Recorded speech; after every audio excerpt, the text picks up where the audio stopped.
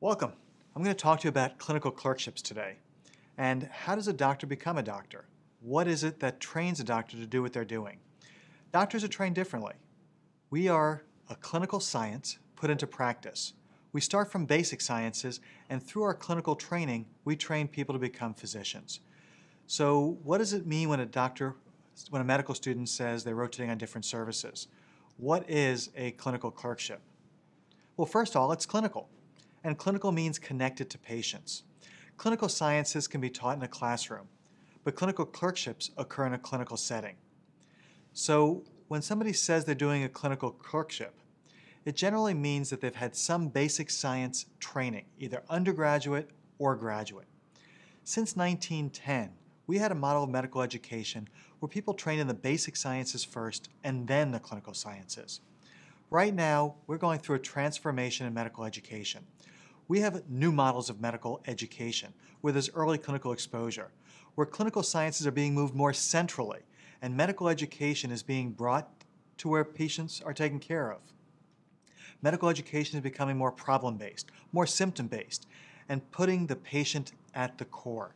And that's where we're going. So people go through medical education with the undergraduate first, and when they enter medical school, they're getting more clinical training early. Clinical clerkships can occur earlier than the third or fourth year now, but they still have to have certain things. And when students say they're doing a clinical clerkship, a clinical experience, it should mean the same thing. They often call them rotations or sub-internships or cores or electives. And those all mean that they're getting trained in a clinical setting. There are some things that confuse people when they give you a clinical clerkship look-alike. A preceptorship where you don't have responsibilities is not a clinical clerkship. An observership or an apprenticeship don't have the same rigor and the same requirements of a clinical clerkship. Because a clinical clerkship requires a curriculum. There needs to be goals and objectives. There needs to be a specific body of knowledge that that student has to acquire to move on. There are skills and attitudes that need to be imparted during a clinical clerkship to make it relevant and to make it important. Every clinical clerkship needs to have assessment and evaluation of the learner during the clerkship. Otherwise, it becomes an observership or a preceptorship. During a clinical clerkship, there are specific duties that a student should be doing.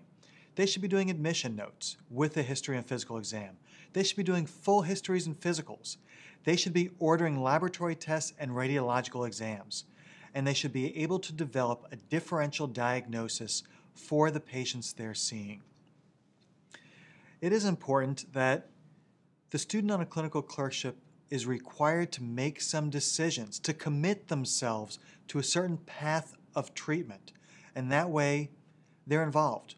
They have made a commitment that they need to now defend, they need to now explain, and they need to now own. They have people on top of them. They have some oversight, but it doesn't mean that they're not making the decisions themselves. So during the clinical clerkship, after they've done histories and physicals, after they've ordered the test they want, they should present the cases to someone more senior with them.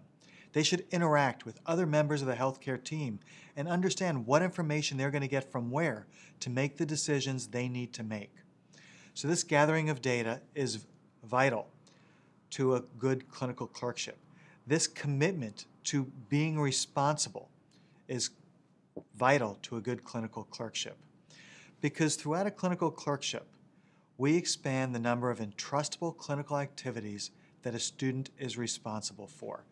Those are the things that a student can do without direct supervision. They still have oversight. They still have some place to go, but they don't need direct observable supervision at every moment of the clinical clerkship. So we are going to help the student by defining the knowledge, skills, and attitudes that they need to master the knowledge, skills, and attitudes for that specialty, for that clinical clerkship, whether it be a general clinical science, a medical clinical science, or a surgical clinical science. So each clinical clerkship needs those things spelled out and clear so that a student can understand what's required of them to be successful in that clinical activity and that clinical clerkship. So in conclusion, hanging around a hospital isn't a clinical clerkship. A clinical clerkship is an activity with specific goals and objectives and knowledge, skills, and attitudes that should be obtained before the clinical clerkship is done. And the last thing is that the clerkships are where the physician's identity starts to take shape. It's where the student starts to assume the persona of a physician.